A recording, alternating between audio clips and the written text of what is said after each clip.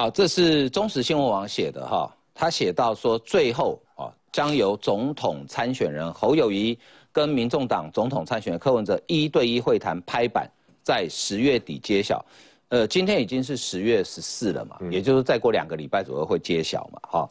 哎，可是侯友谊哈，他被问到说啊，你要不要跟柯文哲见面的时候呢，啊，他都没有回应，啊，也没有说 yes，也没有说 no。所以吴征，你你觉得会不会有结果？呃，我这样讲了两个点，我首先先认为今天蓝白河的这个会议不会谈成，这点跟大家看法一样。但是，呃，我也不单纯认为说今天这个会议只是走过场，嗯，我的看法稍微不一样。为什么呢？因为，呃，我们先看呢，一个大前提说蓝白之间是完全没有互信基础的。因为你看黄珊珊不断的抛三公原则，出发前脸书抛一篇，刚刚会前会记者会再讲一次，啊，这个公开透明要录影啊，本来可能还希望直播，那包括说要辩论，最后要民调。基本上，这个是在处理重大争议案件的时候，我们才才会要求到说，你过程要全部公开透明嘛。例如说，都审会要直播啊。例如说，这个过去大巨蛋案很争议的时候，好，那直播好了，大家都看得到。嗯，如果真的很感情很好朋友来，真的要讨论怎么合作，不会不会直播嘛？没有必要嘛？大家有互信，所以看出来说，基本上两边是在对阵。所以我对这个蓝白河的看法是认为说，其实应该说他们现在不是在谈。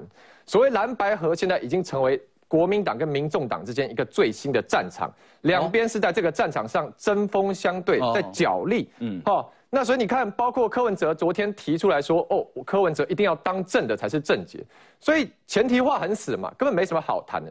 好，那这个战场接下来怎么进行？我就讲这个柯文哲昨天去上这个少康战情室，基本上透露出了非常多的讯息。嗯，我个人认为最关键的一句是他讲说，哈，就算蓝白最后没有合成。也要让大家满意，哎，这很奇怪。你想，因为现在不就是说，哦，基层民众很焦虑，大家都要下架民进党，所以才蓝白合吗？那不合怎么又让大家满意呢？所以柯文哲真正的意思是说，他要在蓝白合这个谈的过程中，让大家看清楚。侯友谊是一个草包，只有柯文哲才真正有战力。是国民党跟侯友谊为了私心不愿意和这个大局，所以这样最后让大家都看很清楚啊，大家就知道是非对错站在柯文哲这边。所以基本上现在整个蓝白河的过程都是柯文哲的战场，他要在这个过程中一刀一刀把侯友谊砍下去，砍到。侯友谊非常弱，哦，最后即便谈不成，大家都知道说是你侯友谊在扯后腿，这个是柯文哲的战略目的。所以，我们看昨天基本上他在这个这个少康的专访中哦，他基本上直接每一个谈话都对着侯友谊来。第一个讲黄珊珊是当年国清和最大苦主，所以先提醒大家嘛，国民党 当年言而无信，哦，跟国民党合作很危险，不能怪我们。第一点，第二点，他讲说韩国瑜是忠贞的国民党党员。你看为什么要特别提韩国瑜？第一个，他要去拉拉拢韩粉嘛。大家想一下哈，当年侯友谊是怎么样糟蹋韩国瑜的啊？我跟韩国瑜交情很好，我起码欧洛伊哦，忠贞的国民党党员。那相比之下，什么朱立伦、侯友谊放一些韩国瑜求官的这些风声出来，是不是很可恶？嗯。所以第二点，好，你看针对韩国瑜韩粉的族群。再来第三点哈，他特别提到哦，侯友谊现在最痛的致命伤，绕跑。因为你看柯文哲讲的其实很绝，基本上骂比民进党还凶哎。他说：“哦，你市长请假个一百天、两百天，那如果呃，只只有两种可能嘛，一种是市政因为你请假不在，所以被拖延了；另外一种，如果市政一切照常运行，那你就自己证明没有你没有差嘛。新北市有没有你根本没有差，你这个市长当有当跟没当一样。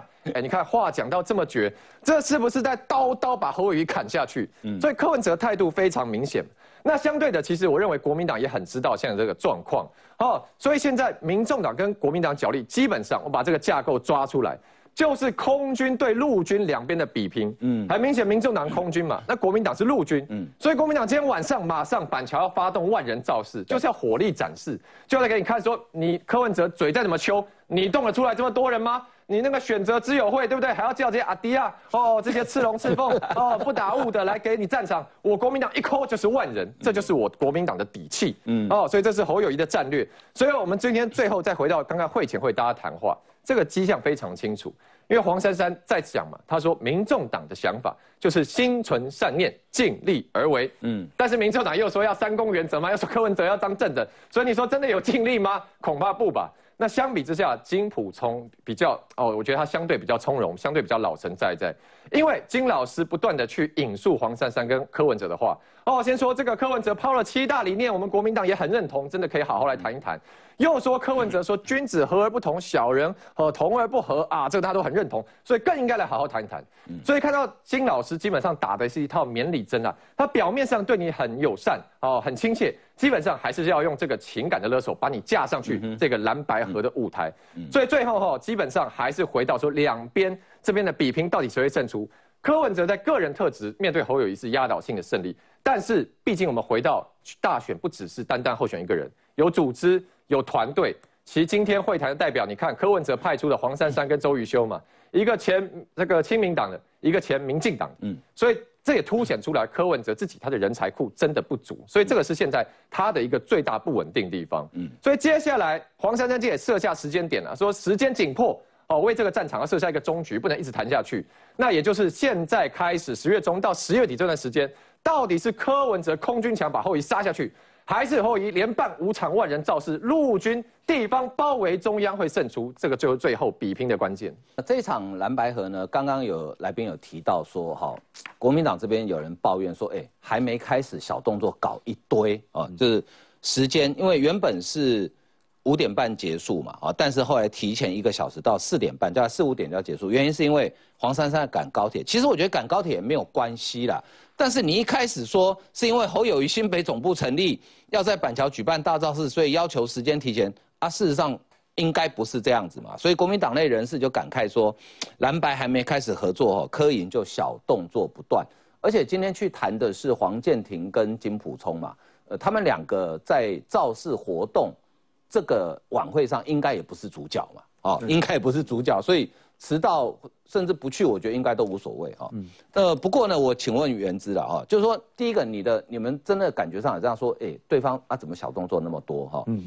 第二个，哎，今天造势活动真的有关羽过五关斩六将这个桥段哦。好，第一呢，我觉得蓝白要堆叠善意，所以我们党内人士也不用恶意解读，说不定民众党是怕人家不知道我们在板桥有造势。所以故意把提前说啊，因为国民党板桥造势，用这种方式加深。我觉得今天下午没有派你去当谈判代表，可能对，因为这个真的那个什么一小时两小时这很不重要，那个也不需要把这个放在心上，好不好？所以我们要堆叠善意，这第一件事情。然后第二件事，你还是还是他们在跌堆呃堆叠障碍，没有这事。但第第二个我要讲就是说，其实晃哥我刚刚看会前记者会啊，我我倒是觉得还不错。为什么呢？因为。本来啊，在会前会之之前，黄珊珊不是都弄了很多障碍吗？什么公开辩论啊，公平民调啊，然后大家就想说，这两件事情是不是侯友侯友谊不会接受？结果金普聪今天照稿念，念出了一段关键的文字。他说呢，我们其实也有准备方案。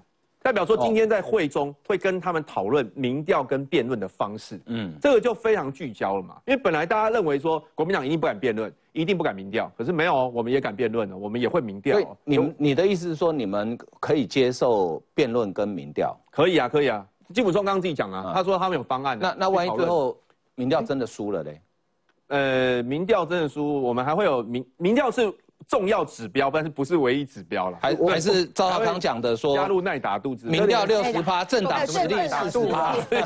那这个细节，因为我没有参与啦，我觉得他们去谈呐。但是我觉得有的谈，就比在空中飘来飘去好嘛。所以我个人是。乐观期待啊！第三件事情是焕哥刚刚讲，今天有没有一个什么关羽过关斩将桥段？嗯我了解他是一个开场表演而已啦，就是有一个人扮演关公，就是暖场的那种对啦活动嘛。然后就说：“哎呀，民进党很色斩，大概就是这样子。”然后是前面的那个暖场，那后那主要当然也是营造就是侯友谊他他姓关公，嗯，然后正义形象，然后他如果当总统可以去把过去的一些东西扫扫掉。你确定没有影射郭台铭？没没有，主要是讲民进党，对，所以这是这三件事情啊，对对对，所以我我觉得还是蛮有期待的，我我觉得对蓝白河我是有信心的。你你有信心？好，那好，你们既然有信心，那为什么这个？你看到是呃最后一场要办五场万人，今天第一场在你的选区板桥，对，在在板桥东区，第一场在板桥嘛，第二场是在沙鹿，这是那个严宽恒的选区。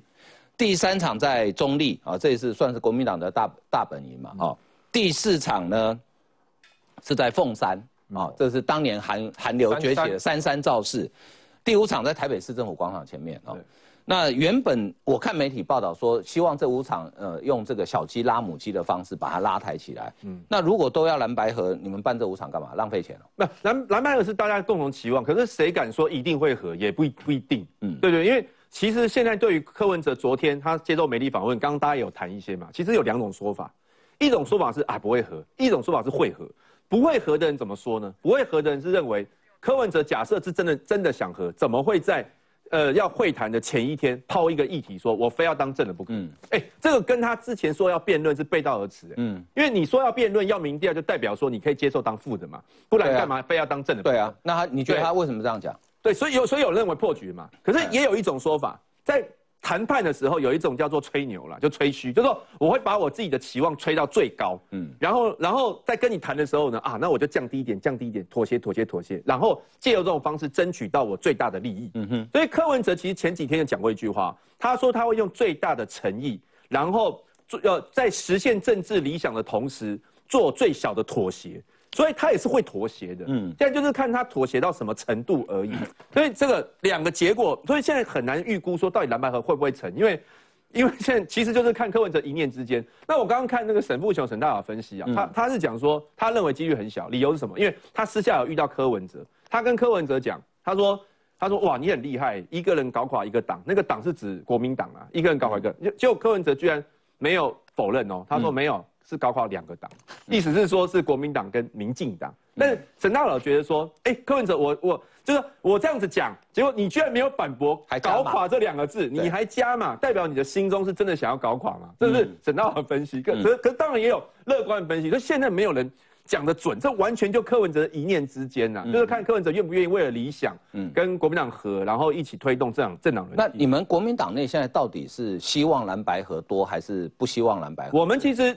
其实哦，希望蓝白合的比较多，嗯，但是我像我今天早上去在基层跑的时候，也有人在骂民众党嘛，就是说你们国民党泱泱大党，然后你现在被民众党牵着鼻子走，然后叫我们不要合的，也也是有，嗯，所以这个反正大家意见都很多了。其实，所以其实我一直认为说时间真的很紧迫，为什么？因为有现在是两个阶段，第一个阶段是你要先有一个方案出来，第二个阶段是你要拿这个方案去说服我们各自的支持者。假设我今天已经合了，那我我如果在面对到今天早上跟我。反对的那个选民，那我要怎么去跟他解释，对不对？这个都是需要时间的了。所以真的，他们还好，他们刚刚那两个黄金组合，呃，黄珊珊跟金普通黄金组合说，他们知道时间很紧迫，然后事不宜迟，然后记者会会前会也没有很多说，一下就结束，赶快去谈。我觉得这个就因为黄珊珊赶高铁了。